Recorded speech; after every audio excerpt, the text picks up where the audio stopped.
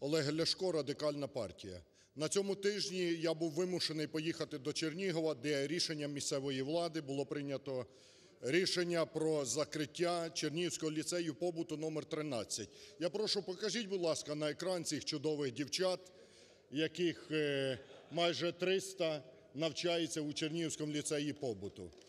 Отаких я хочу, щоб вся країна бачила цих чудових дівчат. Їх там навчається 300, із них е, 20 сиріт. Переважна більшість з них – це дівчатка з малозабезпечених сімей і сільських сімей. Рішенням уряду професійно-технічна освіта була передана на фінансування місцевих бюджетів. А в місцевому бюджеті під приводом того, що немає коштів, закривають отакі ліцеї не лише в Чернігові, а по всій Україні. Після спілкування з мером Чернігова Владиславом Атрошенком ми вирішили цю проблему, і Чернігівський ліцей побуту номер 13 і далі буде працювати. Але скільки ще таких по Україні навчальних професійно-технічних закладів, які під приводом економії влада просто закриває?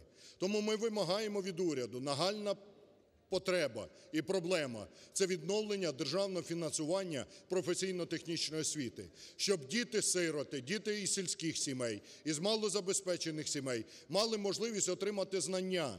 Знання – це той багаж, який за плечами не носити. І люди із трудовими навиками, із чудовими професіями е, матимуть можливість прогодувати себе у дорослому житті, реалізуватися. Коли вони отримують знання, вони не підуть на окружну, вони не підуть у підворотню, вони не підуть по генделиках, вони будуть працювати, вони будуть заробляти, народжувати здоровеньких, красивеньких дівчаток і хлопчиків і змінювати негативну, на жаль, демографію нинішньої країни. Для цього влада поміняти повинна радикально економічну політику, торгувати не сировиною, не дешевою робочою силою, а готовою продукцією. Тому що у випадку закриття закладів професійно-технічної освіти куди підуть ці діти? Вони поїдуть або в Польщу, тому що там зарплата мінімальна 500 євро, а в Україні 120, або поїдуть далі по світах, шукаючи кращої долі, замість того, щоб заробляти в рідній країні. Команда Радикальної партії пропонує альтернативу тій політиці, яку проводить нинішня влада. Ми відстоюємо не сировинну структуру економіки, тому що торгувати сировиною – це фактично прирікати Україну назавжди на бідність, на жебратство, на побирання по всьому світу за кредитами. І тому ми вимагаємо, крім відновлення державного фінансування професійно-технічної освіти, проведення державної політики забезпечення робітничими кадрами, ми вимагаємо від уряду, від влади збільшення зарплат і пенсій для українців. Це ключове для подолання бідності. Нам влада розказує, що немає грошей на зарплати, на пенсії. У них немає, тому що вони дозволяють красти. Ми знаємо, де взяти гроші, щоб у людей були достойні зарплати, достойні пенсії. Я вже розказував про ганебну корупційну історію, коли 6 березня було проведено тендер на продаж 4G-частот.